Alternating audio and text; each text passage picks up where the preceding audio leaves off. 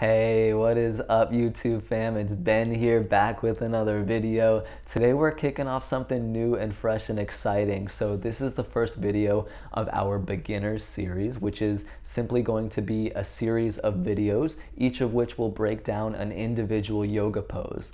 Um, we're gonna start with the most common and foundational yoga poses and we'll slowly work our way up from there. But I wanted to do this because um, I shout out a lot of different poses and cues and um, kind of muscle engagements when I'm teaching these classes. And oftentimes within a flow, there's not enough time to really break it down and explain every part of um, the common poses. So I wanted to create separate videos, especially for you, any of you beginners out there. This is geared at you. Uh, but also if you're an intermediate or experienced yoga practitioner, these videos will also be a great refresher for you to uh, tune back in and just get an even better understanding of um, the anatomy and the purpose and the strengthening and lengthening and stretches of each one of these shapes. So with that being said, today we're gonna dive into downward facing dog. Now, I'm gonna go ahead and get right in my downward facing dog as I talk and as I explain things. You can hold your downward facing dog with me for a portion or you could just watch the screen.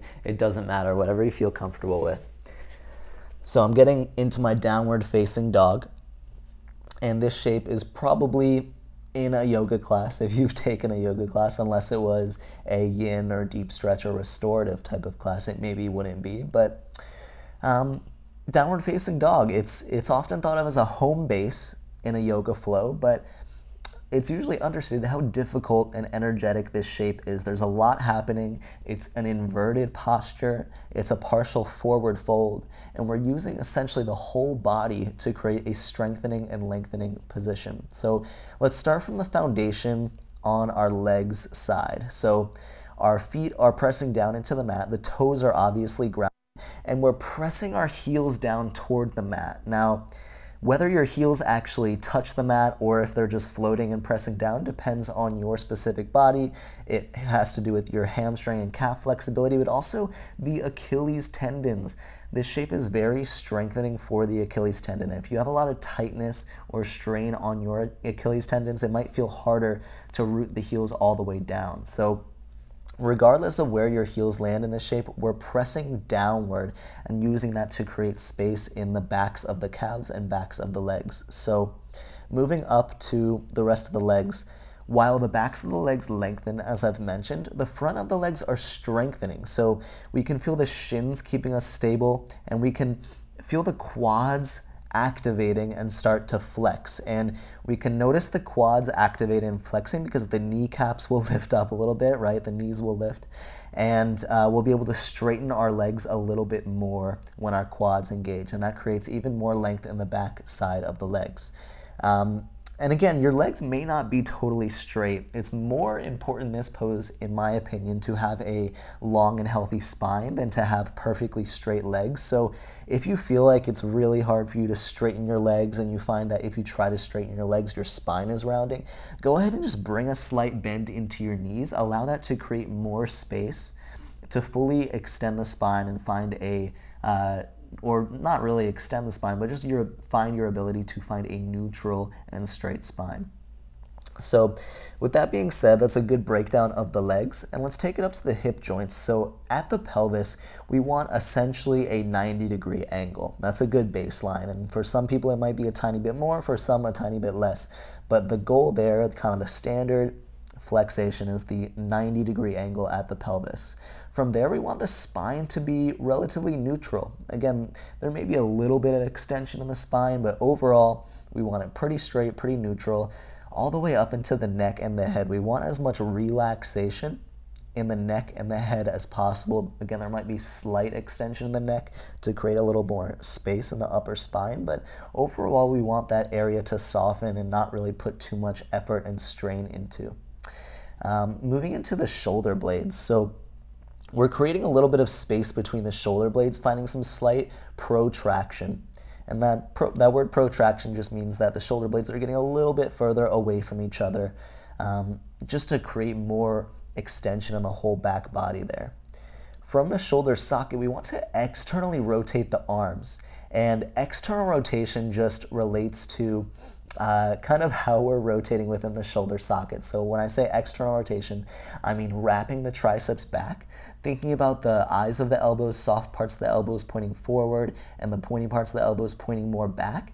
And again, it might not be too much of an actual physical change for you when you kind of ignite that cue of external rotation. Even if it's just mental, it can make a big difference. Um, wrapping the triceps back, creating a little more strength, a little more buoyancy and mobility in the arms. From there, we want to lay our hands and our fingertips flat down on the mat. I like to have my pointer finger facing uh, directly forward, and then the rest of the three fingers outside of the pointer finger will face a little bit toward the sides of my mat. And again, that's mostly due to the external rotation of the arms as the thumbs face in toward each other. Um, I like to bring some space between my fingertips, so around one inch between each of my fingertips is ideal for me, and that just allows me to create that grippy feeling. You know, you really want to be able to grip the mat and use the fingertips. The more you can use the fingertips, the less dumping that occurs down into the wrists. I always say that using the hands without the fingertips is like walking without your toes, right? It's like walking just on your heels. So we want to make sure we're using all of the hands there. And that kind of essentially takes us through most of the cues in downward facing dog. Um, you know, there's, as I kind of went through that shape, the whole body is activating in some way or, or another. We just have to figure out how to adjust to make this shape uh, fit our bodies. I'll bring in one more variation. Um, if downward facing dog feels too challenging on your body, whether it's the hamstrings, whether it's the shoulders, a good variation, and I don't have a chair in front of me right now, but a good variation is to grab a chair. Like let's say the chair was facing that way, I would grab onto the top uh, back of the chair. I would send my hips back and I would rest my hands down on the chair and use that to lengthen my spine and grow my shoulders while sending my hips back in space and pressing through my feet. So that's just a good kind of chair yoga variation if you can imagine my hands on the back of a chair right now, just using that to create a little bit of a safer, more accessible shape if down dog feels um, like too much or if you're going through an injury. Um, so that's down dog again. This is the first video of the beginner series. We're gonna continue adding to this uh, playlist, to this initiative, so that for any of you beginners, you can keep taking my classes and maybe some of the shapes or cues that I throw out will make a little bit more sense and we could just keep growing our practice from there along the way. So uh, with that being said, thank y'all so much for watching. It's always such a blessing to share this space um, and to grow together. So please feel free to subscribe, F feel free to like the video, comment to tell me what poses you want me to break down or what uh, you're curious about learning and um, then let's keep going on the journey, okay? But until we meet again, peace and love. Have a great rest of your day.